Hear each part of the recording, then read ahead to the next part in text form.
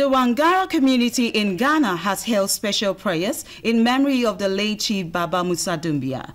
Chief Baba Musa Doumbia is an elderly statesman and a kingmaker in the Wangara community. اللهم اجعل خير أمورنا آخرة وخير عملنا خواتمة وخير أيامنا Hundreds of Wangaras gathered at Nima in Accra for the final prayers in memory of the late Chief Baba Musa Doumbia.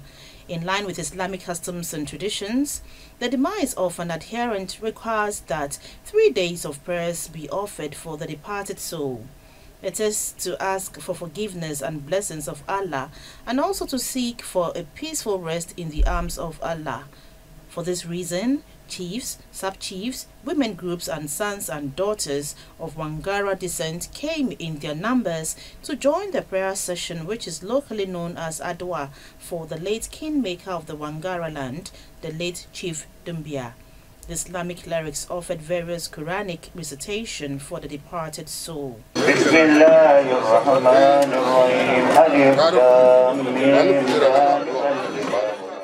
The late chief was instrumental in the Wangara community from the 1960s till his passing in October 2020.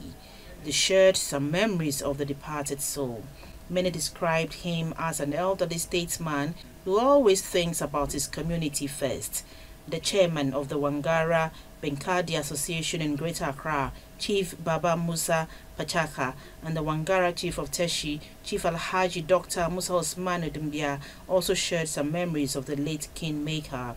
I know Baba Musa for quite a long time, almost about 12 years now. And uh, he's a very humble person and uh, a principled person very frank. When I heard the news, I was shocked. Though we came to visit him when he was sick, but you know, we love him, but God loves him best. I pray that uh, Allah will accept him and grant him Al-Jannat Firdaus.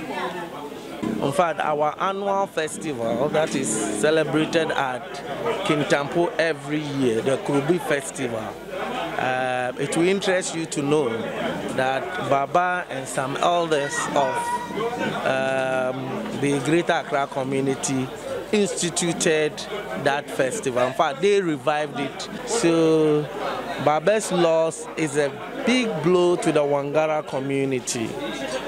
Baba is a father, he's an advisor. I mean, he's everything to us.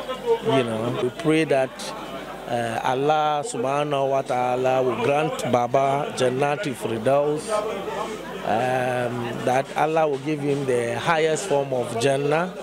And we pray for our other departed souls the Wangara people traced their origin to the old Ghana and Mali Empire and remains one of the peaceful ethnic groups in Ghana.